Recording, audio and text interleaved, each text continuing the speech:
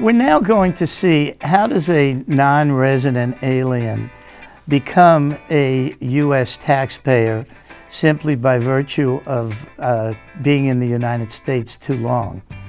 And we'll also see some of the exceptions to this. The, the principal way a, a non-resident alien becomes a U.S. taxpayer is if they're spending too much time in the United States. And, and the, the standard for that is we look at how much, we look at the year in question. So, for example, we have a non resident alien coming to the United States for 2016. We look at how much time, how many days did they spend in 2016 in the United States, and that is equal to one full day for each day they spend here. Then we go back to 2015. We look at how many days they've spent in the United States for 2015, and we divide that by three. So one third of every day that they've spent in the United States for the previous year gets added to the total of days that they've spent in the United States for 2016. Then we go back to the second year, we go back to 2014. We look at the amount of days they've spent here in 2014, and we divide that by six. So, for example, if a, a non-resident alien spends 120 days each year in the United States for 14, 15, and 16, we would have them here for a total of 180 days. That's 120 days in 216. That's 40 days in the year uh, 2015. If they spend 120 days, we divide that by three. And it's, it's 20 days in the year 2014 divided by six. That's 180 days.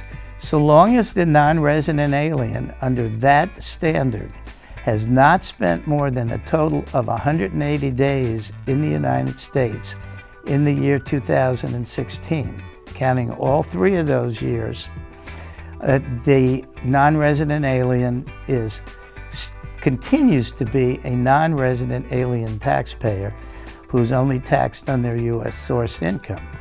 The moment the non-resident alien under that formula spends more than 182 days in the United States, the non-resident alien becomes a U.S. taxpayer. Now, there are certain exceptions here that uh, are helpful. One is if a, if a non-resident alien spends only a spends a full 182 days here in the year 2016. And if they spend days in 15 and 14, which would make them be more than 182 days here in, in 2016.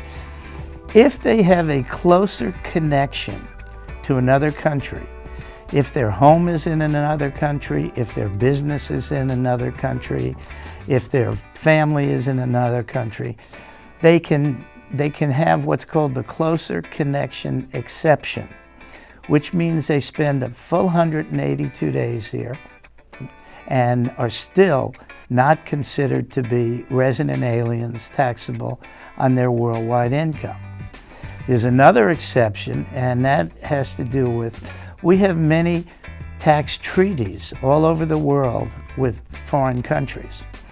If you're from a treaty country and you come here and spend more than 182 days here, you may actually still not be considered to be a U.S. resident depending upon the treaty that we have with your country.